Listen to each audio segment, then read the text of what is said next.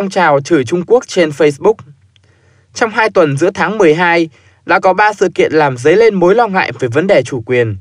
Ngày 10 tháng 12 năm 2018, công ty nghiên cứu thị trường CBRE đã công bố số liệu cho thấy lượng người Trung Quốc mua nhà tại thành phố Hồ Chí Minh tăng lên đột biến, chiếm 31% lượng khách mua trong 9 tháng đầu năm, cao hơn cả lượng khách mua người Việt.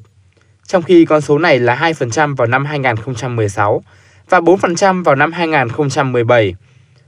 Ngày 18 tháng 12, ngư dân phát hiện một vật thể bằng kim loại có chữ Trung Quốc với hình dáng giống ngư lôi tại địa điểm cách bờ biển Phú Yên khoảng 4 hải lý. Ngày 20 tháng 12, trang tin Thanh niên Trung Quốc cho biết quân đội Trung Quốc vừa tiến hành diễn tập thực binh tại phía đông tỉnh Vân Nam, tỉnh giáp với Hà Giang, Lào Cai, Lai Châu, Điện Biên của Việt Nam, với chủ đề là mô phỏng đối đầu trực diện giữa quân đội Trung Quốc và quân đội nước láng giềng X. Nhân những tin tức này, trong tuần qua, một số cá nhân chống đối đã kích động tâm lý bài trung cực đoan, lợi dụng nó để tuyên truyền chống nhà nước Việt Nam.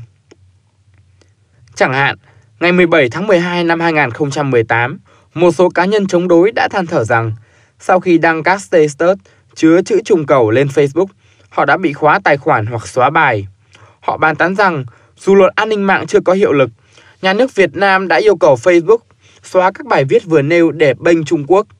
Sau đó, họ phát động phong trào viết chữ trung cầu lên Facebook để thể hiện thái độ phản đối Trung Quốc, phản đối Facebook và nhà nước Việt Nam.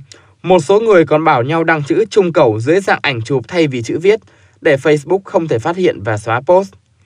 Nguyễn Văn Thanh, chủ nick Facebook Tào Thanh, đã đăng một trong những post sớm nhất và được chú ý nhất trong phong trào vừa nêu. Là một người chuyên chế ảnh gây cười, Thanh đã làm giả một thông điệp của Facebook. Theo đó, Facebook sẽ cấm cả những từ lú, niếng, ngọng, ngẫn, người Nam nói giọng Bắc trong thời gian tới. Do không hiểu đây là ảnh giả, nhiều người đã comment rằng vụ việc này cho thấy nhà nước Việt Nam đang bịt miệng dân. Trong khi đó, nhà chống cộng Nguyễn Trường Sơn lại phân tích như sau. Khi người nước ngoài gọi người Việt Nam chúng ta với tên khinh miệt, thì chúng ta phản ứng dữ dội và gọi đó là phân biệt chủng tộc. Tất nhiên rồi. Nhưng đồng thời, lại có nhiều người gọi Trung Quốc bằng tên Trung Cầu, sau đó bị Facebook cảnh cáo. Thế nhưng lại cho rằng Facebook bị Trung Quốc kiểm soát, hay đổ do việc cảnh cáo đấy là do nhà nước Việt Nam đứng đằng sau. Việc ghép tên nước người ta với từ cầu mang tính miệt thị là hành vi phân biệt chủng tộc các anh chị ạ. Và nó rõ ràng vi phạm chính sách của Facebook. Không một người văn minh nào có thể chấp nhận được hành vi phân biệt chủng tộc, chứ đừng nói là một công ty công nghệ toàn cầu.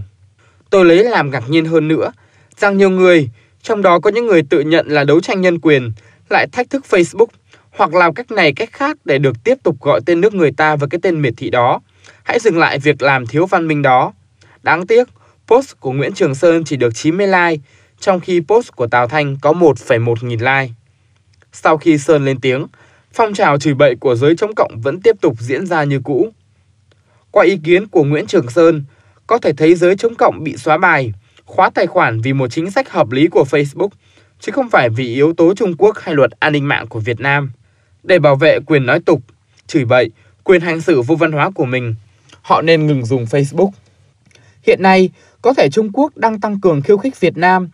Tuy nhiên, chúng ta nên phản ứng với sự khiêu khích này một cách thông minh thay vì mắc bẫy.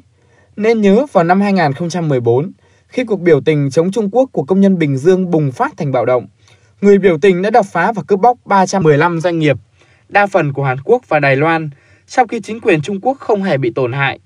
Mới đây, cảnh tự mình hại mình này cũng tái diễn trong cuộc bạo động ở Bình Thuận hồi tháng 6 năm 2018.